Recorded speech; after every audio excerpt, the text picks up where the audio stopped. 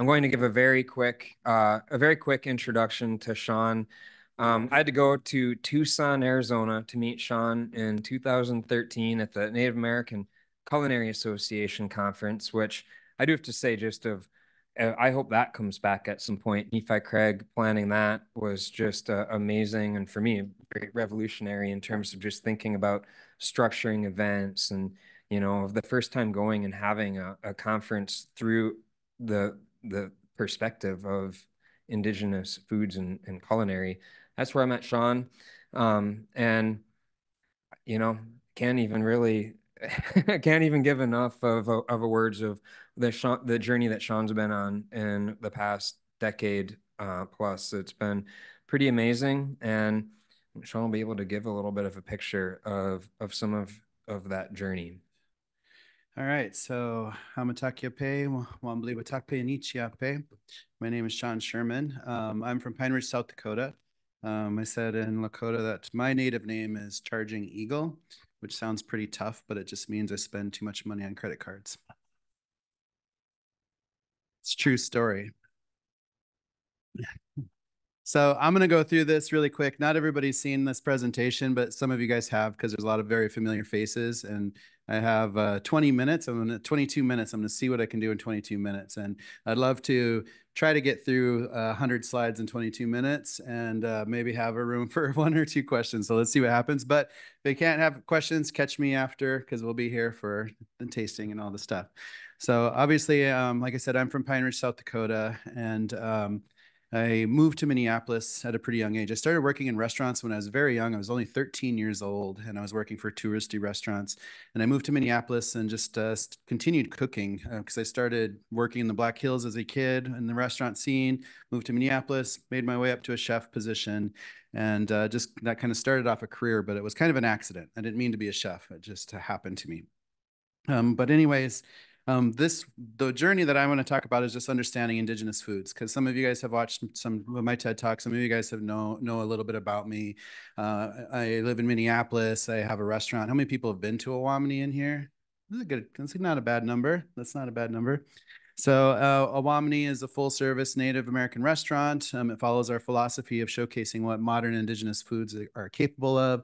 Our philosophy was removing dairy, wheat flour, cane sugar, beef, pork, chicken, basically colonial ingredients in general, um, to showcase what are what are modern uh, North American indigenous foods. And uh, it's been very popular, and that's uh, been a big journey. But beyond that, we have an nonprofit that I'll talk about but before that, I just want to talk about the journey because some of this was just trying to understand what Native American foods were, especially growing up as a chef. Um, quite a few years back, I just kind of had an epiphany of trying to figure out like why like I, I, I studied food from all over the world you know i learned about food from ever from all over the place you know and i knew hundreds of european recipes off the top of my head in european languages and didn't know anything about lakota foods really. I could name just a handful of things that were actually lakota that weren't influenced by another like eh, outside influence. So it set me on a path to understand like what were pre-colonial foods right? And this journey took me into having a deeper understanding to not only what those foods were that I was searching for and what was missing, but also what happened in history to us as Indigenous peoples, which we've touched on a lot because it's a big part of the whole situation. It's a big reason why we don't have Native Americans in every single, or sorry, we don't have Native American restaurants in every single city you know, because that's just a, you know, that's a reality right now today. Like it's really difficult to find any kind of Native American eating space um, to feature the land and the food and the culture and the language and the people and all the things. And we need to change that. And it's changeable because we showcase that it's possible. You know, we built this model in Minnesota. So my work really became talking about um, what we're what we lost and why we lost it, and going from there. So this talk, I like to talk about colonialism because obviously we have touched on it because it is a topic. But colonialism is the policy or practice of acquiring full or partial political control, occupying with settlers, exploiting it economically, which obviously is not unique to North America, but has happened across the globe. North America, South America, Africa, India, Southeast Asia, Australia, New Zealand, and so forth. It keeps going. Like there's been so many regions around the world, and we're connected to indigenous peoples across the globe because of our shared trauma of living through colonialism, basically on a massive scale. And so for us, it was divine, it was basically creating a philosophy around decolonization because one way to decolonize is just to reverse colonization, but that's not very realistic because we're living in a whole new world of and ways of things, you know. So it's not a philosophy of just pretending colonization didn't happen, but it's a it's a it's a philosophy of moving forward. So for me, it was a philosophy of comparing the values between um, what happened what's been normalized in our lifetime as, col as colonization has happened to us compared to the values of for, from indigenous perspectives. So values of Eurocentric colonialism is imperialism, expansionism, capitalism, exploitation of natural resources, dehumanization of people of color, individualism, cultural assimilation, scientific rationalization, and land ownership are just a few of those pieces that is very normal in our lifespan. Like we just, this is things that are just out there and we just live with because it's just the way things are. But when we're looking at values from indigenous communities, we're looking at a much larger focus on community, um, land stewardship, community-based food systems, reciprocity and sharing, oral traditions and education. Um, oops, I doubled that one up because it's doubly important, but equitable and consensus-based decision-making, respect for elders, deep connection to land spaces, and vast education of plants, because plants give us everything, food, medicine, lodging, tools, weapons, toys, you name it. Like plants can give us everything we need, right? So I really enjoy teaching about colonization because it's something that is really important. And we're living in a weird world where some states are trying to reverse education. They're trying to re-whitewash already whitewashed history, you know, and taking away our indigenous perspectives that we haven't even really had. We've been invisible for too long, and we're just getting to a point where we're starting to talk about these things.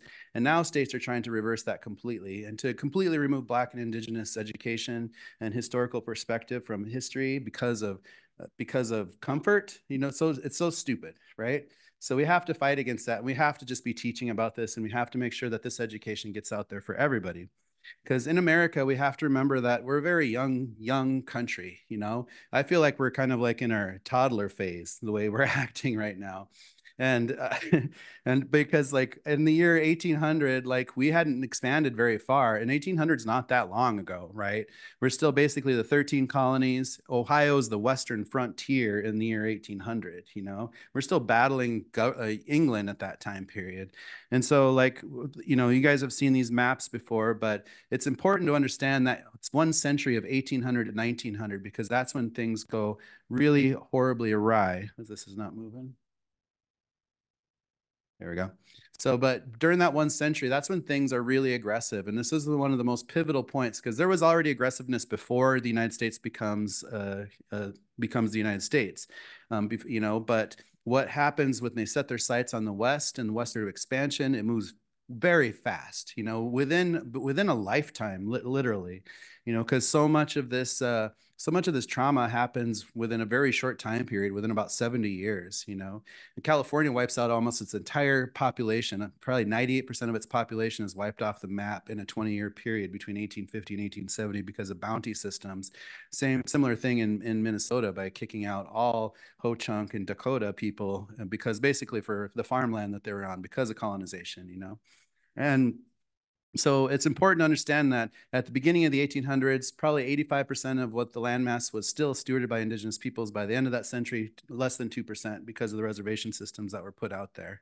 So it's just important to remember that because this is more than colonization. This is actually what I like to see as, or uh, not, I mean, I identify it as eliminationism because that's what the policy was against indigenous peoples.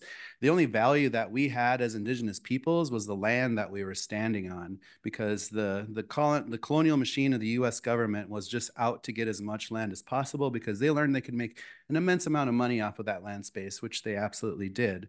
And you know, you can trace all of this throughout American history, um, how we're how we're dehumanized right off the bat with the Declaration of Independence, which was the Dear John or Dear George letter that the that the founding fathers sent to England to break up with England, basically, right? Um, and you know these things like the Northwest Import, uh, Ordinance is super important to know what that is because if you fly out in these areas and look out your window and you see this, that this was the justification of the land theft, you know, and it's still it's still a cornerstone to the whole situation of colonization in America and how they're looking at, you know, building out, securing land spaces and justifying the taking over those land spaces. And it goes on and on, you know, throughout the U.S. history of the acts from Washington, um, the Homestead Act of 1862, the Morrill, the Morrill Act of 1862, which create land grant universities like this one right here, um, which gave them lots of land spaces to benefit from which a lot of universities still hold a lot of land spaces um, and then still benefit from that. Dawes Act of 1887 and during this time period, we see so much loss of our own food access as Indigenous peoples. Um, we've learned about the destruction of the bison. Not everybody understands that the US government was extremely intentional about that. And I think you should definitely watch the Ken Burns documentary, which really helps lay out that history very clearly and plainly, because this was a very specific move by the US government to just to hurt the Indigenous communities in the West that they were going after, especially around the Civil War time. But what was really damaging for us as Indigenous peoples was the loss of our own education systems, which is why it's really important to really build our education systems back because our per Indigenous perspective of, of education is a really important one. Not everything has to have a Eurocentric perspective, you know? Academia has you know, Eurocentric academia has claimed its own throne by saying it's just the utmost. They're the ones that decide which papers are out there and who's writing what and the, all the pieces. But as indigenous academics we don't have to follow those rules because we can change you know? So it's really important to know that there's other perspectives of everything out there and there's so much diversity amongst indigenous peoples on a global scale that we should really be focused on that because my grandparents' generation at the turn of the century should have been downloading all of that generational knowledge, but instead it's replaced because of the assimilation programs that get set forth at the turn of the century, um, trying to civilize us as indigenous peoples, turning us into non-savages, basically, right? And if you've ever gone to Carlisle, Pennsylvania, Pennsylvania, or, or studied about the Carlisle Indian School, this is kind of ground zero for where this whole system starts. And it's a really awful school because all of these kids speaking different languages, different religions, coming from different areas are forced to come here. It's a military run school. They're subjected to all sorts of trauma, which we're still dealing with today sexual abuse, mental abuse, physical abuse, death. And all these things are just reverberating across across generations you know? And it's you know it's one thing to call out a priest or somebody for you know some bad things that happen to you but it's harder when that get trauma gets passed down in our own families and it's your uncle it's your grandma or, or grandpa or somebody else is doing that to us too. So it gets really complicated but if we're indigenous everybody is touching this boarding school system and it's it's a tough history and it's a shared trauma that we have to deal with and figure out how to move forward with and part of it's just naming it for what it is, is one step to it. Because um, obviously these happen all over the United States, all over the territories, all over Canada as residential schools, which are still alive into the 1990s. Um, and there's just a lot going on with this situation to unpack um, and understanding where so much of our trauma came from directly in a very short time period, again, just because this happened throughout the 1900s. So our indigenous experience in the 1900s isn't much better because um, there's lots of things. There's uh, we're not citizens until 1924. You know, we uh, they they have to define us at that time period because they didn't have a law for us at that time. So they create the Racial Integrity Act, and you should read about the Pocahontas Clause because it's super messed up. And it's just like a whole bunch of this. It's a constant situation, you know. And so my grandparents are born before they're citizens, as I'm sure a lot of people have grandparents that had that same story situation. Uh, we go through many generations of the Indian termination and relocation policies, just like the story of Menominee that we are just listening to. Um, we go through, uh, this one's the worst one that I think, is because of the Indian adoption era from 1941 to 1967, where the statistic says one out of three Native children are pulled from their homes and put into non-Native families. And that's a big, that's a big number.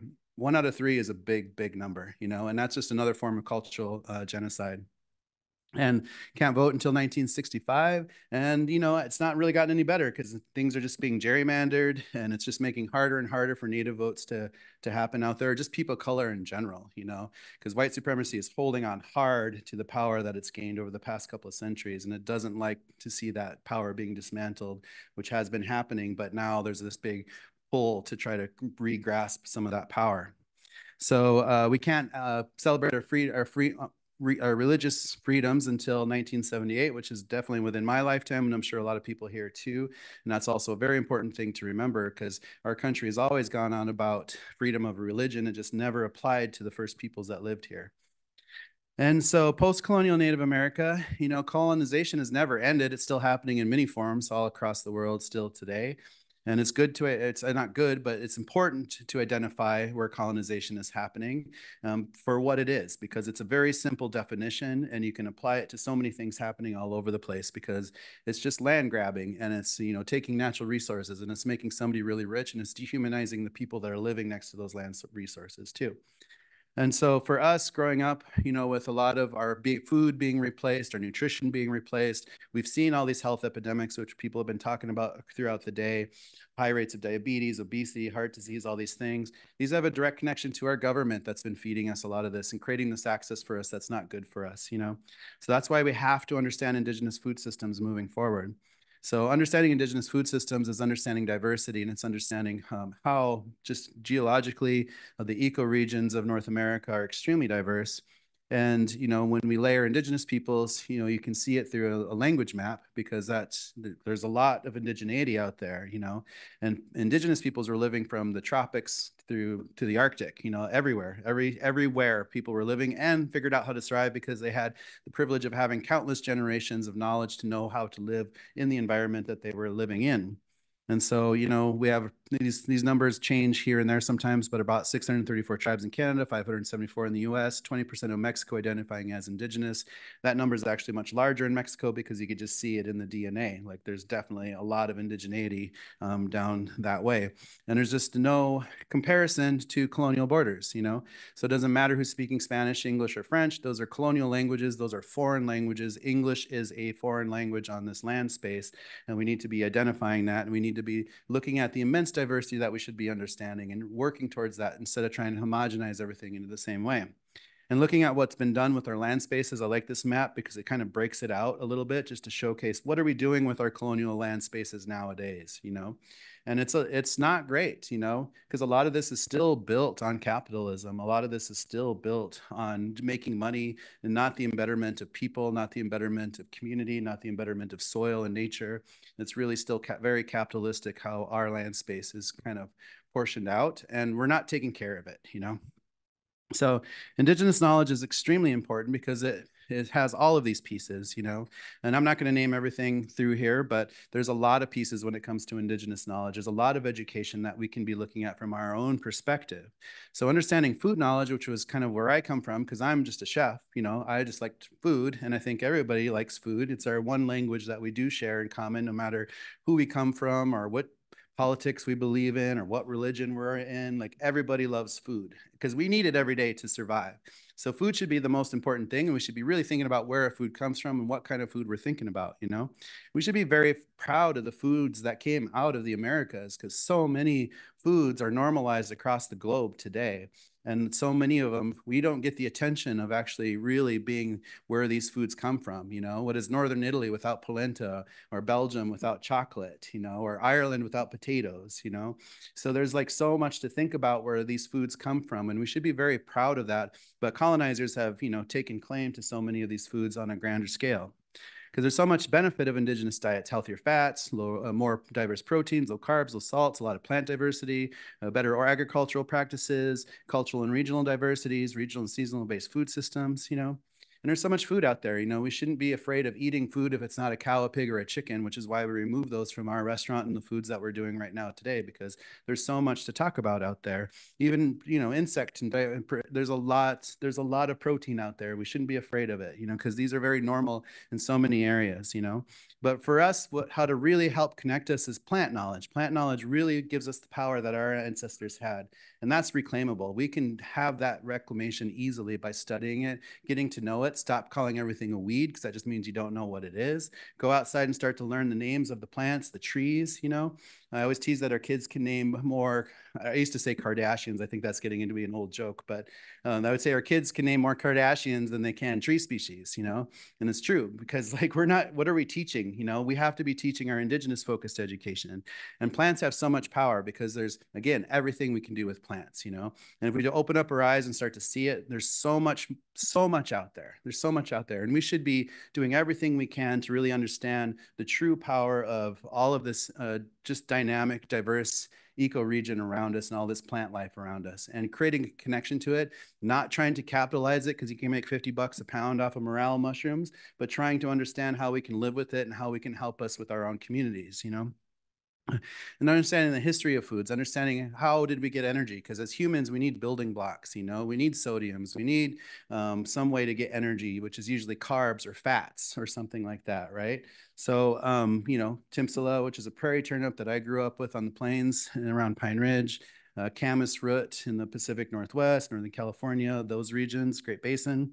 Um, wild rice, of course, which is such an amazing and, and, amazing product, you know, but we've destroyed so many waterways um, for people to have lake cabins and jet ski and blah, blah, blah. And like we should be really protecting and, and, and celebrating the growth of some of these plants that can have so much life-giving force for us. Um, and just the knowledge of plants in general, like with coastal people, like they had so much more food off the shoreline, you know, and a huge, vast knowledge of all that. Or deserts, I would say, where all the plants look like they want to hurt you and maim you, but indigenous peoples know how to live there very, very well, you know. And it's almost silly to use the term food desert because people, indigenous peoples from the desert saw nothing but food around them, you know, because they looked at the world through that indigenous lens and they knew how to identify, they knew the relationships with the plants. And it's important, that's an important lesson to think about, you know.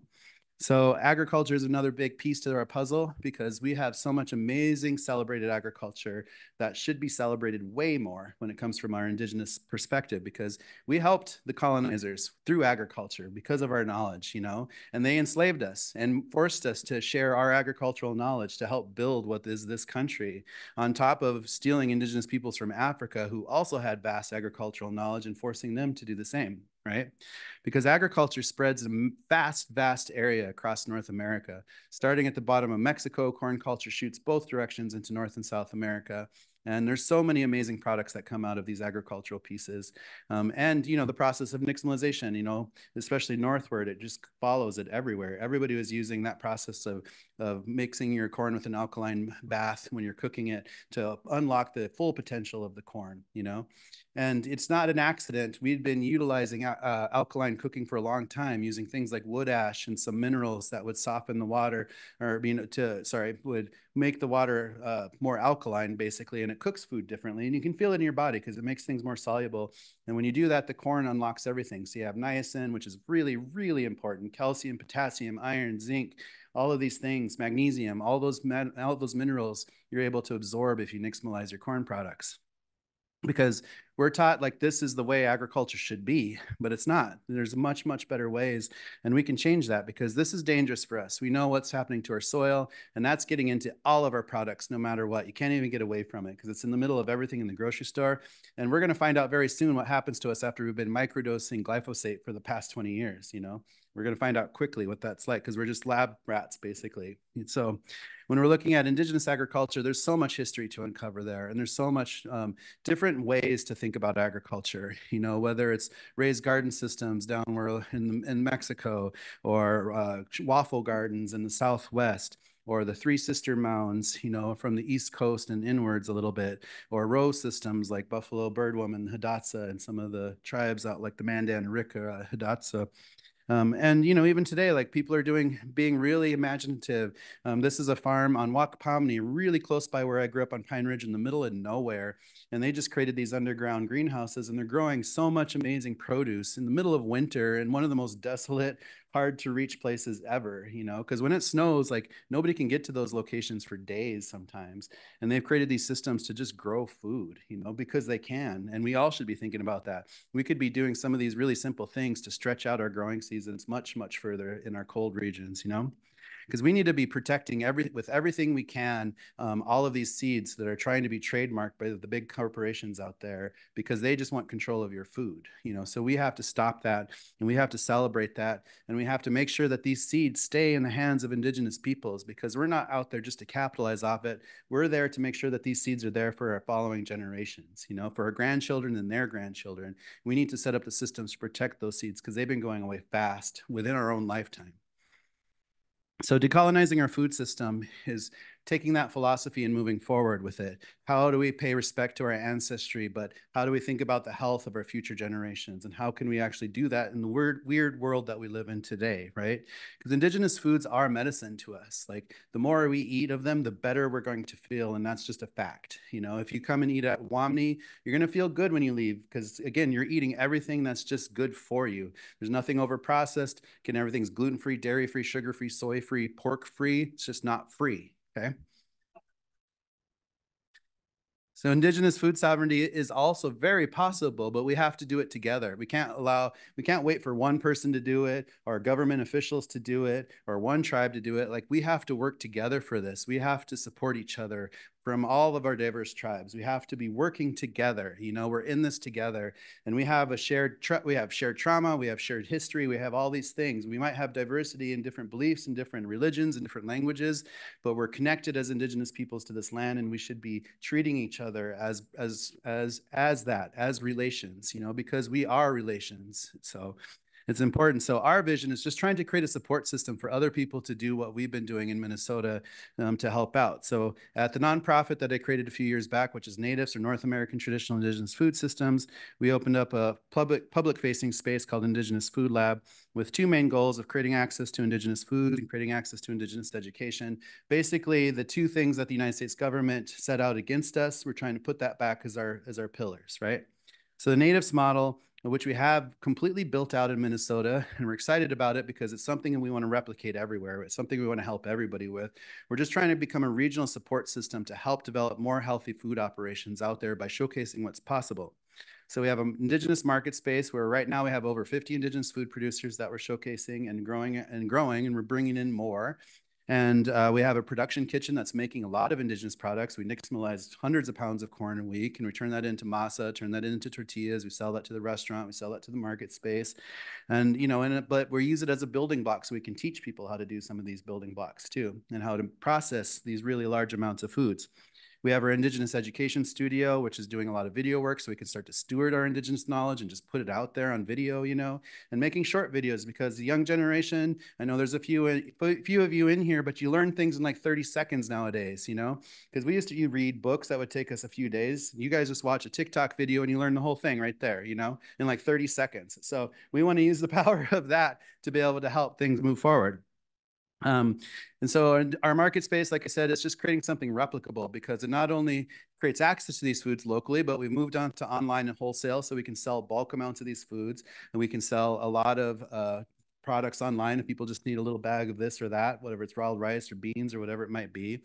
Um, it's uh, creating access to more of these food producers. We have um, we have the USDA licensing to be a co-packer. So we just finished a pilot project making an indigenous baby food with some Getio which somebody was talking about earlier this year, and wild rice and other things, and making really healthy products and getting more indigenous products out there on the market. You know, so there's a lot of opportunities for the for these kinds of market spaces, and we built it small so we can replicate it everywhere.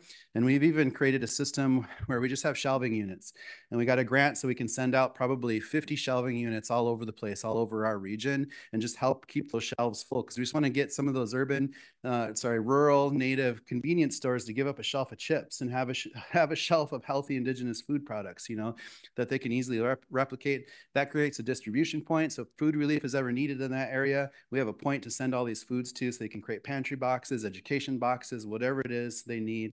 It just gives us opportunity to get food out there and to move food back and forth because we can also work with people to create more products. Um, and that's happening in real time right now. And then we also have our production kitchen, which we use for education, for development, for creating all these products, for training, for research, all sorts of stuff, you know. And we're just creating a whole new generation of chefs who are able to do this kind of food on an institutional level. So we can feed everybody here. We can feed 10 times the people here, you know, and being very intentional about it, making sure that we're using indigenous food products when we're doing this and having health in mind because we want you guys to feel good, you know. And as chefs, we should be very conscious about how what we're feeding people and the products that we're utilizing and the foods that we make. Um, the classroom is there again just to steward our knowledge bases and to create as many videos as possible cooking videos language videos videos on on medicines on seed saving on farming technique on anything star knowledge crafting quilting could be anything we want it to be just a place to steward our own knowledge so everybody has access to it you know and keep it alive basically because so cause, because our religion was it was against the law to celebrate our religions for so long so many of our tribes went into some secrecy because it was dangerous to be a knowledge holder. So many of our, uh, not just our, our, very recent generation of elders um, were persecuted, we're put into jails, we're killed, we're violenced because of because of being knowledge holders. You know, but we have to really understand the importance of our education system and start to really create that and make that more accessible to everybody, um, especially our indigenous youth and our indigenous community as much as possible. And it's easy to start thinking about education from indigenous perspective you know you just have to do it just put it out there just think about what does a non-eurocentric education system look like and we start building it because it's doable and you know so we've been creating lots of videos i'm not going to show this because i'm already over time a little bit but we're making lots of videos like these which is showcasing you know how to do some of these things because we have this classroom studio where our education team is just putting out i think we're doing about six videos a week right now and that's only going to expand as we grow so, but it's fun because we can. Um, so our food service um, operations and concept design, we can showcase like we we already proved the point. We already made the proof of creating a restaurant in the modern day world, serving only indigenous foods, and it's working. Like having a restaurant with no ranch dressing that's popular. We did it. You know, it's possible.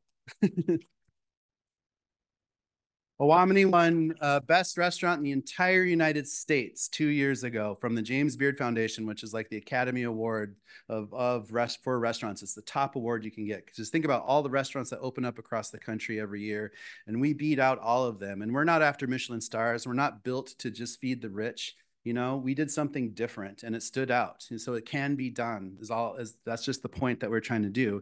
And we've gotten a lot of press but it's not about me it's not about trying to be a famous chef and all these things. It's about what needs to happen for our next generations there's so many creative ideas we can for food service, and we should be supporting food service operations as much as possible, which is why we're trying to create a support center for other chefs, tribes who wanted to create restaurants. You know, we just need to be really um, celebrating our stuff. You know, we don't need all you can eat uh, buffets at every single casino you know because we should be featuring the amazing diversity that we have out there you know and that's that's just the truth because there's so much amazing creativity that can come out of this. A whole new generation of chefs can be creative how we move forward with our own indigenous foods. Our goal is to open up indigenous food labs all over the place to have that same model with the market space, the classroom studio, the production kitchen, and a satellite restaurant because the restaurant's a part of our nonprofit that we chose the restaurant to be an engine for the nonprofit because that's where a job creation comes. We have over 100 employees right now in the middle of winter. That grows to about 150 and it's a place where we're doing about six million in sales at that restaurant downtown Minneapolis. Huge portion of that's going directly to food costs, and a huge chunk of that food cost is going directly to food producers. You know, so we're just raising that demand way up with just two kitchens in Minnesota. And if we just imagine if we had restaurant native restaurants all over the country, how much amazing demand and how much food growth we can have out of all of that. You know, so we have to raise that economy up. Yeah, it just has to happen for us. So growing more food is really important. It's really important. Grow more food, please, you know? And lawns are stupid. I say that all the time. And it's a truth because they're just wide open spaces that are doing nothing for us. So make sure we're just growing food everywhere we can. Plant food trees, food plants, make diverse growing systems. Just do it because lawns are fucking stupid, right? Okay because the future is indigenous but we have to do it together. And that's the biggest piece to this is we have to work together which is why these conferences are great because it helps us bring together to see what everybody else is doing. How can we connect how can we connect with each other? How can we support each other you know? And what can you do? Um, support indigenous initiatives locally, globally, call out cultural appropriation, call colonialism in action, support fellow humans in need, create a relationship with the plant world, teach your children to eat and speak indigenous, create less trash, grow more food, and don't vote for fucking Trump.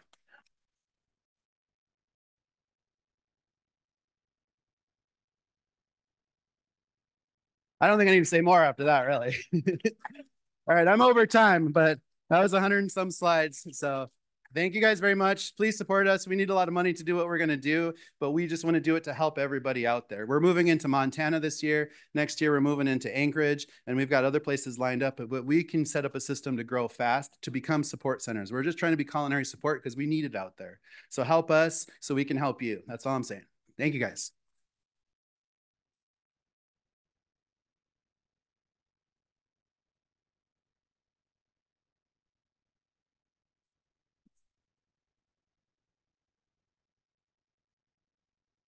Okay, we I don't want to hold you from food, but I just want to make a couple of quick um, you know, a couple of quick comments. When we were putting this agenda together, of course, Sean is a is a big draw. Um, but when we're talking about indigenous research, indigenous food lab, the connection there, I mean, all of that, I mean, that's part of indigenous research. Um, to make this event happen, you know, I, I mentioned our, our, huge planning team, give, give a shout out to them in a second, but for our main sponsors, the main host organizations here on campus, the College of Ag and Life Sciences, of course, uh, want to give also just a, a, call out to the Research Forward project. We got Professor Steph Tai, we got Nan, saw Julie and Rue right there, um, and just our the amazing team for for that, but a lot of funding support came from the Research Forward.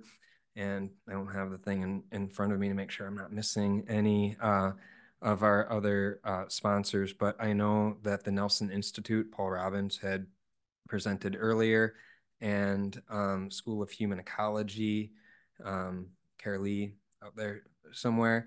And I know I'm probably going to be missing some other of our of our sponsors, but putting on these events, it, it does take some resources. And so I want to, again, just thank all of our presenters and everyone who came. But then the law school is um, uh, one of the places where I work here on campus, and I want to give Amanda White Eagle a chance to give a little, a few words.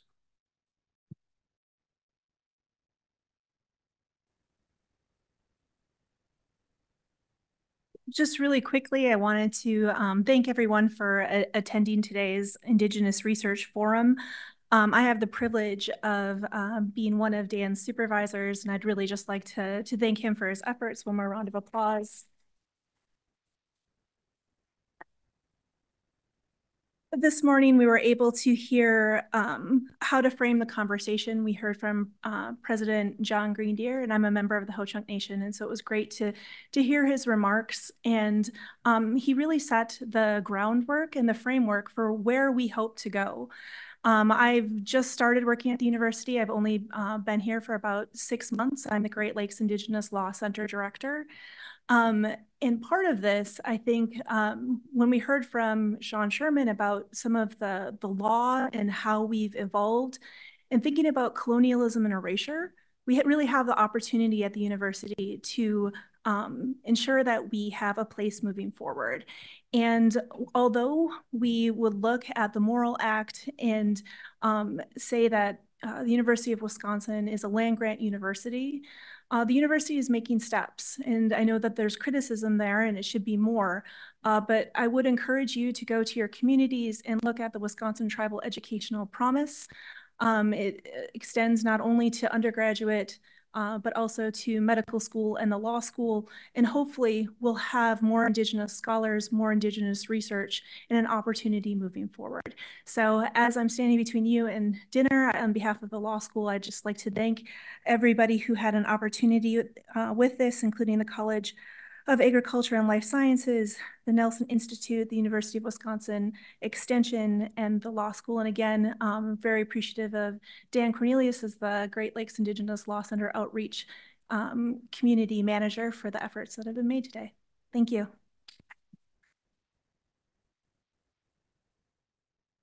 So as I said, I mean, putting on these events, it it takes a lot more time than what you think it's going to when you start. Every time, oh, it's not going to take that much. And the only way I'm going to get this done is with all of these people that are here. And I know we've got probably a few more. Doug, don't sneak away. um, but yeah, I, I just want to give uh, a shout out and an acknowledgement to the whole team here because, you know, Frankie, you were stuffing name tags last night. But yeah, it wouldn't it wouldn't be possible without everybody that is here. So just a quick round of applause.